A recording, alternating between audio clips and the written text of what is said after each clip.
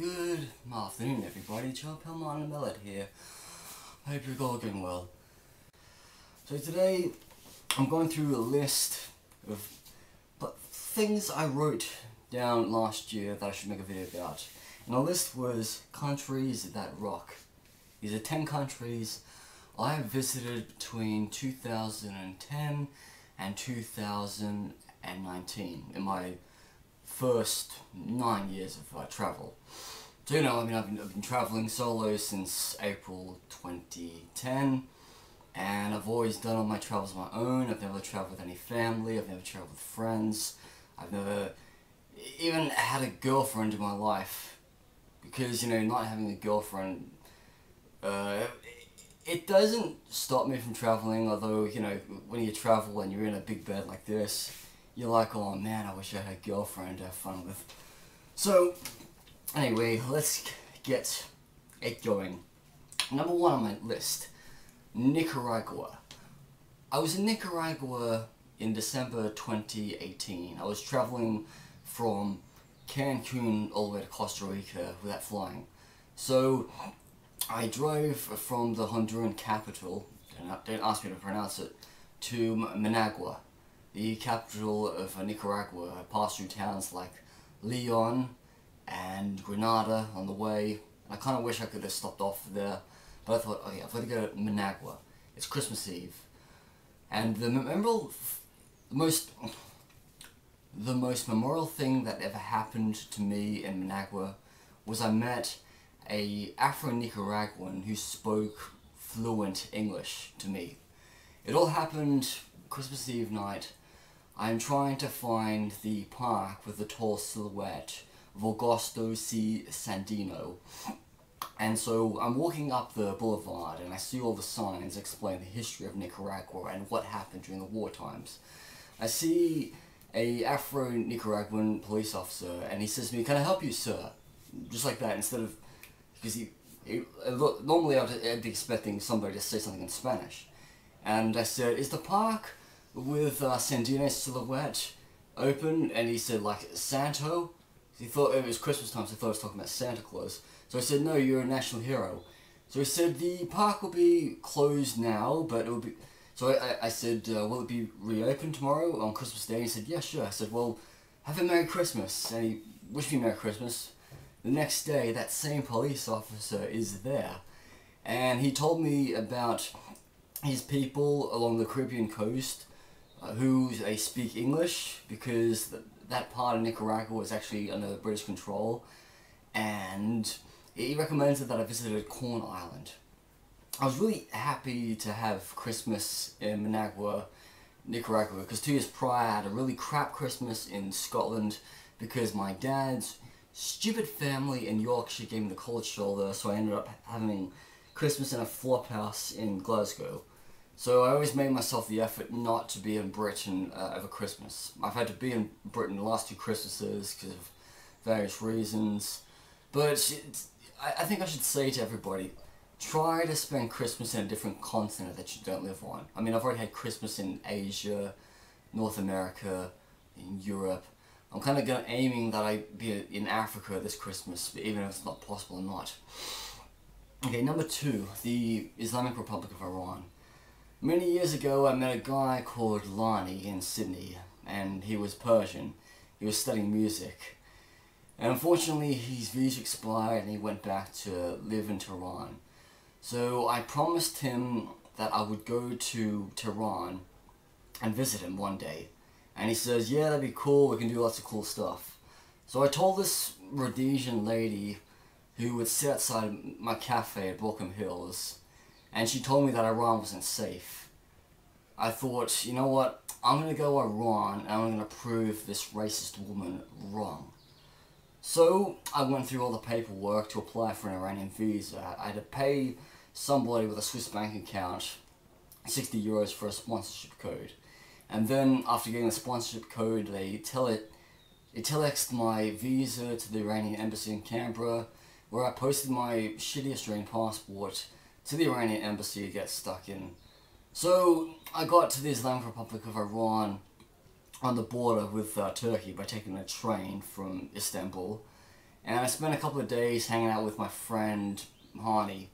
To me, I am more in love with the Islamic Republic of Iran. I have a lot of respect for, for Khomeini, Khamenei. I, I cannot stand Western governments talk shit about the Iranian regime or the Iranian government because prior to the revolution, Iran was really dumb. It had really high illiteracy rates, and everything was like fixed just like that. So you can all complain about all human rights or people being mistreated because of religion and all, and that just doesn't bother me. What bothers me is xenophobia and racism against Iranian people. Because one time, my cousin was dating this woman, and I told her I went to Iran. She was like, "Yuck! You went to Iran? Iranian people, yuck!" And so I told my Iranian stoner friend about this woman's opinion, and, and he said people who do not travel are naive fucking buffoons. So, uh, I do not care that I have jeopardized any chances of ever going back to America just because I spent five days in the Islamic Republic of Iran hanging out with my Iranian atheist stoner friends. I just don't care. There's lots of other countries in the world for me to visit. Uh, number three, uh, Sweden. I've always had a lot of respect for Olof Palme for what he did for Sweden. I've always had a lot of respect for the Swedish government in arming Southern African liberation movements and, you know, arming the Viet Cong and arming uh, the uh, Sandinistas in Nicaragua. The negative thing is that in Sweden, right, they won't give you a national insurance number, like a personal number, unless you have a job contract. Even if you're an EU citizen, you have to have a year's contract to get a ID number. So without this ID number, you basically can't open a bank account in Sweden. And the dumbest thing I've ever experienced in two job interviews with a Swedish employer was people asking me, "Oh, why you moved to Sweden?" I felt like I could say that I hate the shit out of the United Kingdom because of all the racist people and the xenophobic people, and I'm a communist. But I basically chucked the spurs at these employers for not hiring me. I said, Olof Palme would kick your ass if you were still alive today. And two, you don't ask people why they went to Sweden. Because think about it, in Sweden, look, there's Iranians, there's Africans, there's South Americans, there's all sorts of Europeans, there's Jewish people, there's Gypsies, there's Arabs, there's, you know, black and white Africans, there's uh, North Americans, there's Australian people you don't ask people why they moved to Sweden in a job interview. Anywhere in the world, you don't ask why they moved because literally it's none of your business. Okay, number four, Serbia. I went to Serbia first in August 2015. I was quite really sad at the time of my life because I turned down a job in Birmingham, so I started traveling, and I ended up in like Serbia on a Sunday evening in Novi Sad. I stayed in a nice hostel that actually had a bathtub. And even though my time in Serbia was short, I told myself I would come back eventually. And I did. I went back to Serbia last year. I spent three and a half weeks in Novi Sad, Belgrade, and Niš. And even though there's some dumbass people in Serbia lied to me saying that Bulgaria was closed, I had a really good 35th birthday, you know, visiting the museum where Josip Broz Tito was buried. So that was a good way to celebrate my 35th birthday. Number 5, Armenia. I have a lot of love and respect for the people of Armenia. I don't really give a shit about the Kardashians. I really love System of a Down. I've been to Armenia once in 2017, and the Armenian people will always have my back. I will always be supportive of them, and because of that, I don't ever think I will visit Turkey ever again in my life. Number six, Kyrgyzstan. Okay, a country in the Central Asia, part of the stands, former Soviet state. They speak Kyrgyz as their national language. I went there after a trip to Almaty, where I took the bus to Bishkek, and on the border, the Kazakh border guards tried to bribe me out of 50 quid for no particular reason. So I entered Bishkek, nice country, clean, beautiful, peaceful. No, not so much turbulent times as it was in 2017. I kind of wish I travelled through more of the Central Asia, but you know I had a job in London to do, and I had a nest egg to build up also in London. So you better start going to Kyrgyzstan way before more of the backpackers start flooding like Bishkek. Number seven, uh, Papua New Guinea. If you are going to travel to Australia and New Zealand, I specifically tell you this one thing. Don't bother, okay? Do not bother wasting your money in Australia and New Zealand. They are white-run countries run by imperialism and bullshit I don't approve of as a communism person. I believe that you should visit a Pacific island nation. And I had a fun time in Papua New Guinea. I went to Port Moresby on a two-day uh, trip, even though I had to deal with some bullshit questioning by Australian authorities on the way out, which I literally, in my own mind, told them to go fuck themselves, and I told them that I hate Australia. I had a fun time in Papua New Guinea. I was driven around Port Moresby with my driver, as it's not really a safe place to go on foot. I visited the parliament, I visited a lot of churches, mosques, walked past the brewery, and I met a lot of amazing people. And the funny thing was, I stayed in a local lady's house. The people of Papua New Guinea are close to my heart, and I recommend that you visit Papua New Guinea. And one crazy thing you should try and do is you should try and cross the border between West Papua, which is Indonesia, and Papua New Guinea. You may or might not get uh, injured because there is a conflict going on, but it's a really rad border to cross. Okay, now number eight, uh, Suriname. I was in Suriname less than two years ago for my 34th birthday. It's a Dutch-speaking country in the north of South America, uh, in the Guyana region, because back in the day it was called Dutch Guiana. Paramaribo is one of the only places in the world you can actually see like a mosque and a synagogue side by side.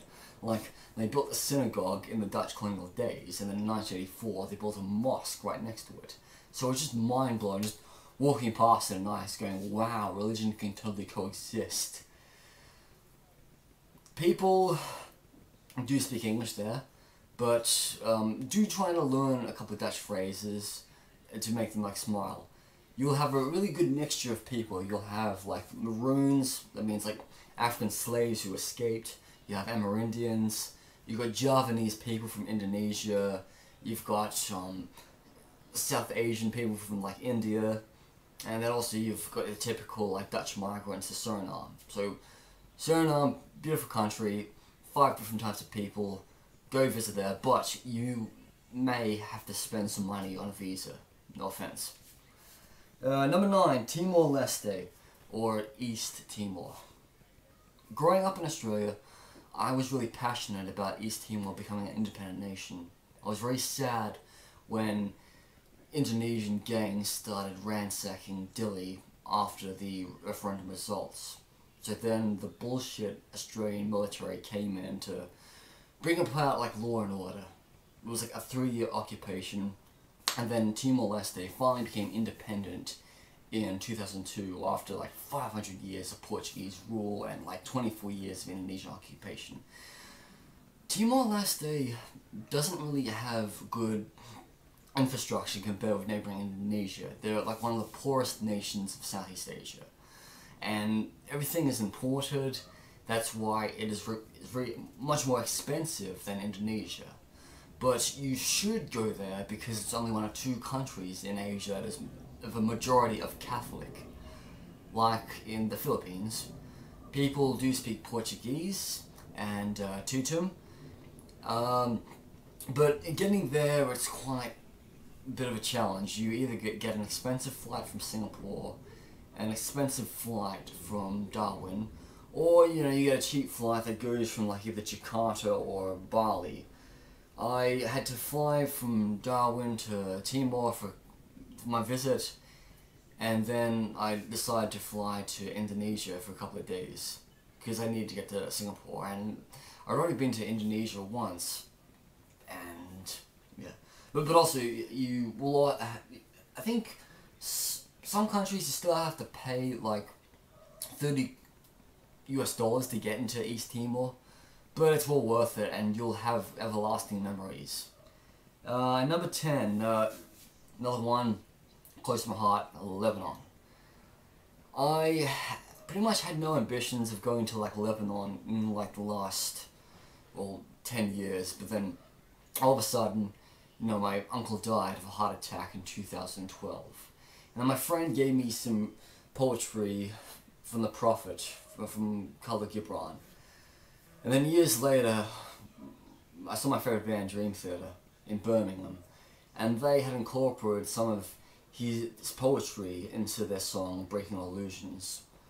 So, uh, after my grandma died in Yorkshire in June 2017, I told myself that I've got to go to Bishari, I've got to go to the Gibran Museum, and I've got to buy a copy of The Prophet from Bishari at the Gibran Museum, and I've got to thank Khalil Gibran for getting me through these hard times. I believe every man and woman in the world should have a copy of The Prophet in their library. It's like the third best-selling book of all time after like Shakespeare and um, you know, and some other Chinese author and all. I really don't recommend a visit to Beirut. I thought Beirut was very tacky. I mean, it was quite just bone shivering to you know walk past the Parliament of Lebanon and then see all those fashionable shops in downtown Beirut. Just I was like cringe with. Although I did walk to um, uh, Pigeon Rocks. Yes, I walked from downtown Beirut all the way to Pigeon Rocks. So that was a nice time. But if you go to Lebanon, spend less time in Beirut and more times like outside of Beirut. Anyway, I'm Martin the Metalhead. I'm over and out.